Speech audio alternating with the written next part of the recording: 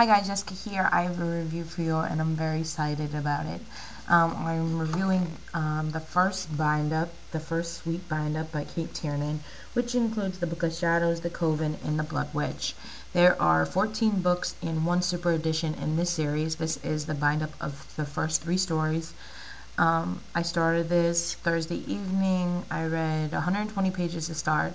The first book is 180 pages, the second book is 180 pages, and the second book is 200 pages. Um, so this is, you know, almost 600 pages. Um, I read that the next morning. I finished the first book, started into the second book. Last night I read more of the second book, and then today I finished the second book this morning and finished the third book. So I read this in like a day and a half or less. That's how good it is.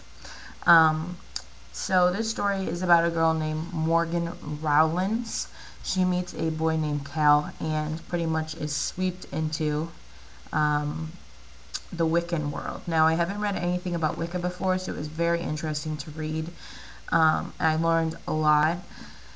And pretty much Morgan finds out that she's a blood witch and a blood witch is someone whose parents are both were both blood witches as well and it's part of this ancient how do they describe it?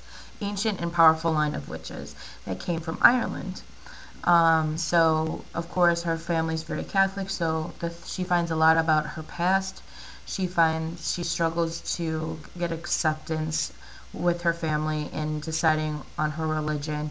Also has problems with her friends her friends create a coven and it creates some sort of drama on who's going to be in this coven and who's going to not be and it's very captivating and very addicting. The characters are very well developed including her sister and her sister plays a pretty powerful role in the story. While i noticed most stories like this the siblings or the family are kind of secondary but in this story her family is very important in how the story um, continues.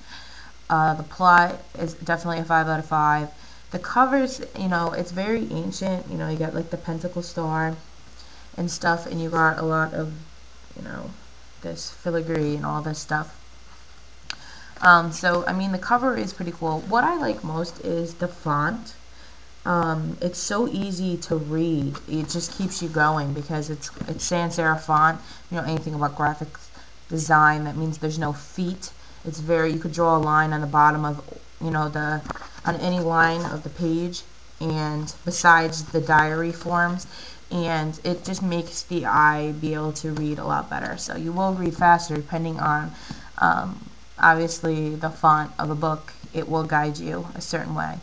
Um, so font, cover, characters, plot, oh, writing. And the writing is phenomenal. This book is more than a 5 out of 5. I love this book so much. I really didn't expect to love this book or these three books as much as I did. It's phenomenal. If you have it on your to be read list, read it now. Um, it's very interesting. Like I said, I haven't read a lot about Wicca before, so I like that there was a different approach to the whole occult and, um, you know, fantasy, like, world, I guess you can say. So definitely check this out. I definitely need to get my hands on the next bind-ups. I think there's a, the next one's a purple cover, and then I think there's another one that just came out. So that's the nine books. So there's still, you know, another few bind-ups that'll be coming out. Probably three, two more, 15 total, 15 books. So I am just dying to know what happens. I mean, this story is so captivating. It did remind me somewhat of Wicked one um, which is what Legacy. No, wait, is that Wicked 2? Legacy and Spellbound by Debbie. I mean Nancy Holder.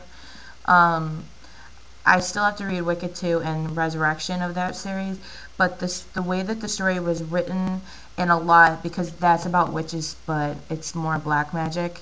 Um, but the way that the story was, it was really keeping you going. So Cate Tiernan and Nancy Holder definitely have similar writing style and the fact that they don't want you to stop reading their book. So this is Sweep. Definitely 5 out of 5 book. I advise that you check it out ASAP. And happy reading as always. I'll talk to you soon. Bye.